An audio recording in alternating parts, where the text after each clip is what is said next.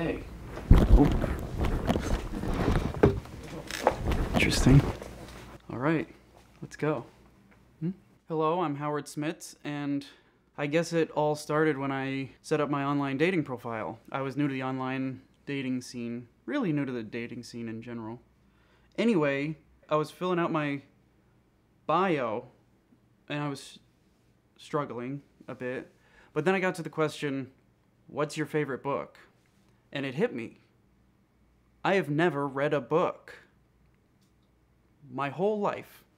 Never read a single book. To fix the situation, I read the first book that I picked up, which was Frankenstein by Mary Shelley. And my world changed. It was like this whole world of possibilities opened up right in front of my eyes. I was I felt like I was awakened. And I just thought, you know, if Dr. Frankenstein can bring dead bodies back to life, then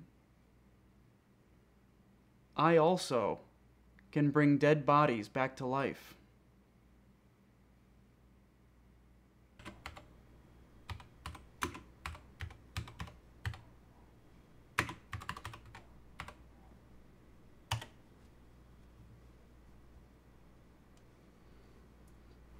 No, it's all car parts.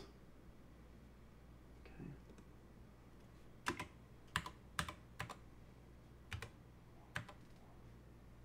Does anyone want any water or anything?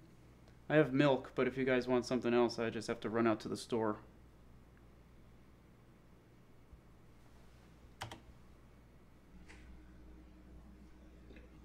Hello, Parsons County Medical Examiner's Office. Yes, hello. I was calling to inquire about any corpses that you might be getting rid of Excuse me? for scientific reasons. No.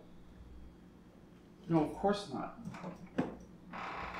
Well, I don't really appreciate the tone that you're taking with me.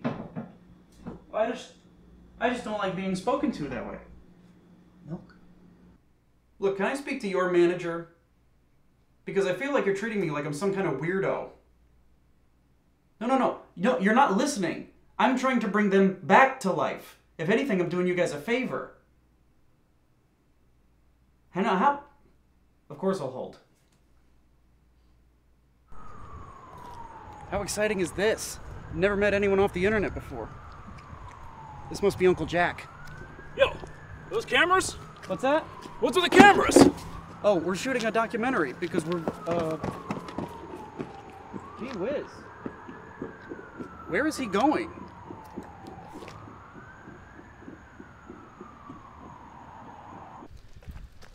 I guess we're doing it the old fashioned way.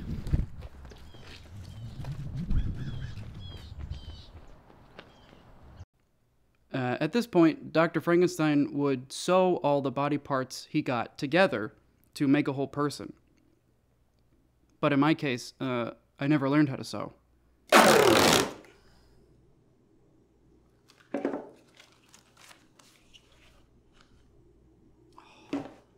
I got two rights. We have to go back. I got two rights. I have to go back.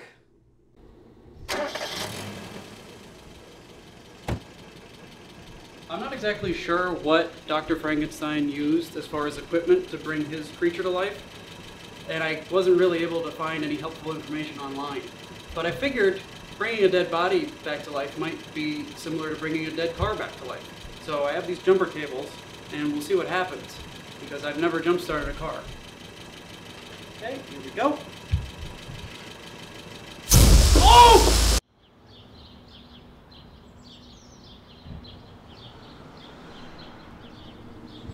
So it turns out the battery wasn't enough to bring our creature to life. So I've been working on this. Um, it's my bicycle. And I'll give you a quick rundown here. Uh, you can come closer. It's just your basic rig, right? You got your wheel, and you got your uh, rope. Turns this thing. This is temporary. This is just where your basic science happens. These will work fine. I'm pretty confident about that. Kind of runs up here. This is kind of like radiating. There's just a like elect elect. What is it? What is it? And that's really how it works. Pretty simple. I can't wait to meet him.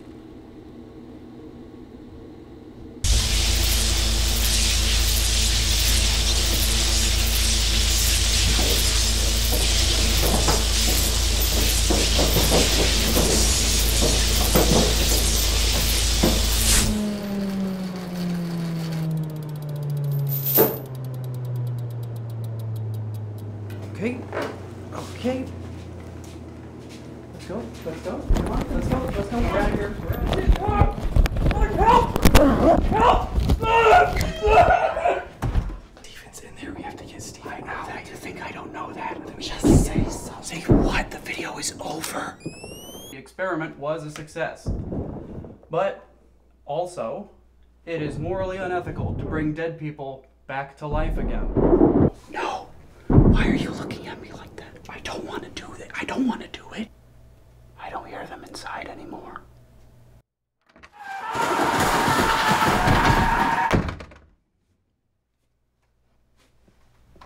Did you hear that? Do you think that was Steven? That sounded just like Steven. Maybe this whole thing was a waste of time. I don't even know what lessons I'm supposed to take away from this. Maybe life's too short to be unhappy. That sounds good. Oh, a match.